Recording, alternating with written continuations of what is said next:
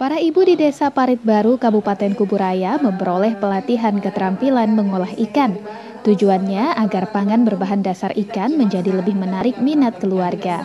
Pelatihan ini dilatar belakangi rendahnya konsumsi ikan di Kuburaya.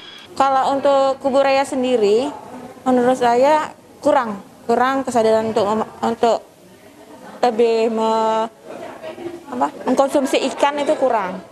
Karena menurut kita kan di sini kan wilayahnya wilayah uh, lebih ke daratan ya. Kalau ke pesisir mungkin iya karena produksinya lebih banyak gitu intinya. Yang mana dalam hal ini ini merupakan langkah kreatif dan solutif ya. Uh, untuk menciptakan berbagai kreativitas pekerjaan. Artinya uh, di masa pandemi ini tentunya ini hal yang positif uh, dalam rangka apa uh, dalam rangka menciptakan kreativitas-kreativitas uh, terutama bagi ibu-ibu uh, dalam uh, ini dalam rangka juga pemulihan ekonomi. Selain untuk konsumsi keluarga, pelatihan ini diharapkan dapat membantu para ibu yang ingin mengolah ikan sebagai sumber pendapatan. Doris Pardede, Kompas TV Kuburaya.